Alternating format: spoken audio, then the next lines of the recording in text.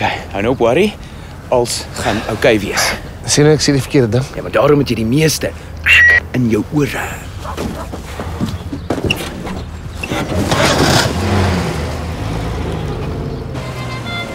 Bly kalm.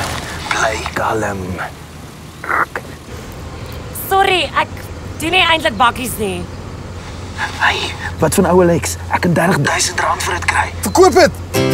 OLX gratis aanlyn snuffeladvertensies waar kopers en verkopers mekaar ontmoet.